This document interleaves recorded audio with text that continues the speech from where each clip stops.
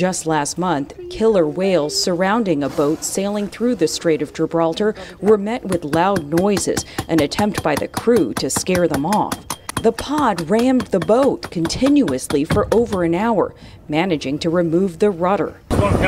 With seawater gushing into the boat, the experienced crew of four issued a mayday call and were eventually towed to shore unharmed. In another recent instance off the coast of Spain, three orcas repeatedly struck a yacht, causing it to sink entirely after Spanish Coast Guards rescued the crew on board. Well, comrades, I'm happy to report some very good news. It seems as if the socialist revolution has finally arrived, but the proletariat isn't rising up and eating the rich. Based orcas, however, are, and you just love to see it. Now, this graph, courtesy of PBS News, includes data from a local network of sailors that reported seven sightings and nine attacks in the month of June alone, just in the Strait of Gibraltar. But this isn't a new phenomenon because, as Gizmodo explains, in early May, three orcas took down the Alboran Champagne, a Swiss yacht sailing through the Strait of Gibraltar. All four people who had been aboard the ship were rescued, but the ship wasn't. It was the third boat that orcas had sunk off the Iberian Peninsula in recent years. Just a few weeks later, the whale struck again, this time targeting another yacht, a 66 foot long British vessel called the Beauty of Clyde. This boat didn't sink, but was severely damaged, according to The Independent. Both incidents come as part of of a string of more than 250 run ins in which orcas have appeared to willfully attempt to wreck boats in the region dating back to 2020. I'm sorry, but can we just pause for a moment? Orcas are targeting gigantic yachts. They are sinking Swiss yachts named Alboran Champagne. It doesn't get any more pretentious than that. And with these details in mind, how could you not root for them? I, for one, welcome our new Orca overlords, and apparently others do too. Jay Bowie on Twitter tweeted out, Solidarity with my Orca comrades. Now, additionally, Blame Tag writes, Have you guys seen J.K. Rowling's $19.2 million yacht? And by you guys, I mean orcas. And people are so stoked about the Orca revolution that they even made a song about the orcas. Fuck your yacht, bitch. Yeah. I'm mobbing with my squadron. Bitch, I'm an orca, not a motherfucking dolphin been fucking up our habitat. So yeah. now we're fighting back. I ride with a pod, I slide with a pack. Okay, let's just rein it in a little, okay? I also love the orcas destroying rich people's yachts, but making an entire song about them is a little bit overboard. terrible. It's terrible.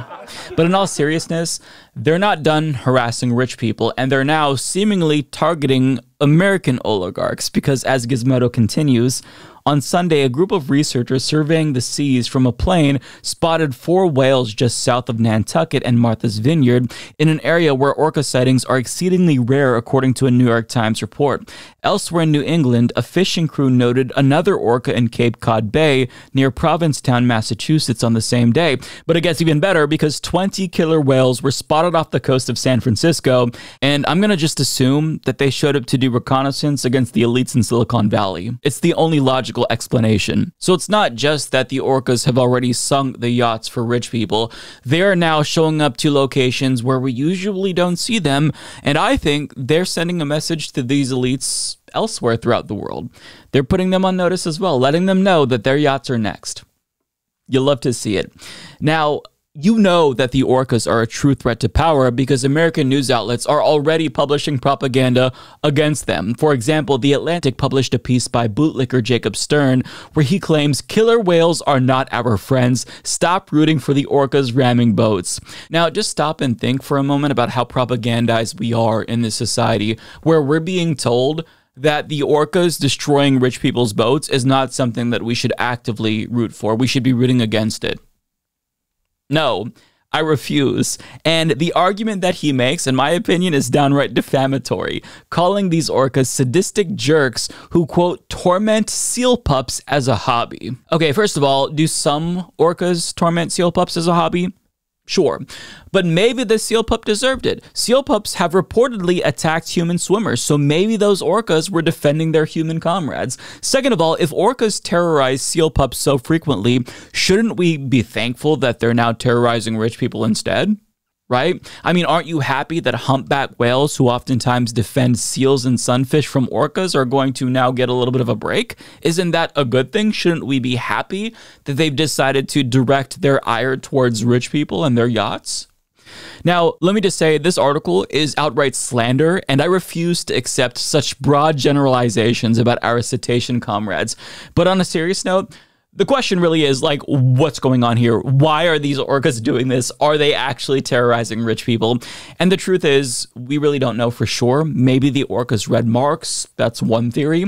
But marine biologists have a number of hypotheses. For example, Gizmodo continues, perhaps as marine mammal biologist Andrew Trites hypothesized to New York Times, the uptick in orca presence is the result of locally rebounding seal and shark numbers, i.e., more orca food, or perhaps something else is going on on, referring specifically to the orcas being sighted around the United States. Maybe, as my colleague Linda Codega has speculated, the whales are organizing. terrible, potentially supporting Codega's thesis. The massive pot of killer whales that were partying it up in Monterey Bay, also on Sunday, per a report from The Guardian, about 30 orcas representing 11 different family groups came together off the coast of California to splash, breach, and play. The little ones were wrestling and rolling like a bunch of puppies, Nancy Black, a marine biologist with Monterey Bay Whale Watch and the California Killer Whale Project, told The Guardian. Though the whale's motives remain murky, some researchers have theorized that the boat aggression is a learned behavior originating with a single female orca named White Gladys. Some headlines have framed the attacks as revenge attempts over a boat collision injury White Gladys may have incurred, though not all marine scientists are convinced. So basically, it's unclear why they're doing this, but I, for one, have not seen a single scientist explicitly rule out these socialist revolutionary theories. So, yeah, take that for what it is. But what is clear, however, is that human socialists have been saying we should eat the rich for years, whereas orca socialists are actually doing it. It's clear which species has actually read Lenin, and I'll leave that there. Woke. Woke mob. Woke ideology. Woke ideology. Woke ideology. Woke ideology. Woke ideology. Woke test. Woke ideology. Woke Olympics. Woke ideology. Woke ideology. Woke ideology. Woke ideology. Woke ideology. Woke ideology. Woke ideology. Weaponized wokery. Woke ideology.